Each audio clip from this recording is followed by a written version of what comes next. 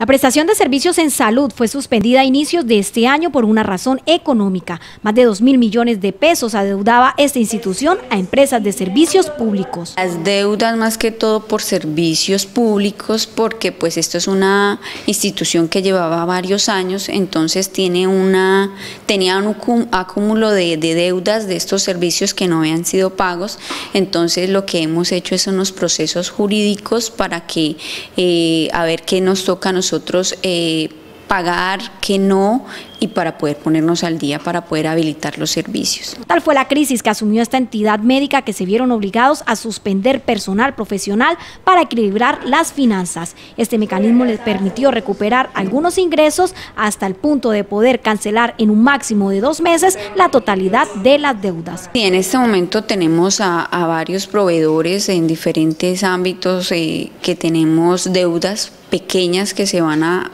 a, organizar en poco tiempo, pienso que en dos meses ya estaremos cumpliendo esa meta.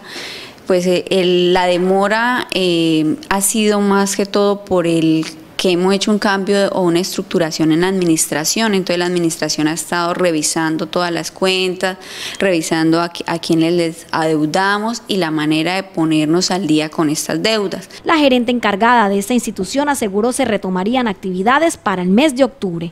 vamos a hacer una apertura más o menos en dos meses y en ese momento vamos a estar ya al día con nuestros proveedores y pues con las puertas abiertas para el público en general. Este pronunciamiento se realizó luego de conocer la dada por un ciudadano que había prestado el servicio de parqueo a una ambulancia y que aún la deuda no ha sido cancelada.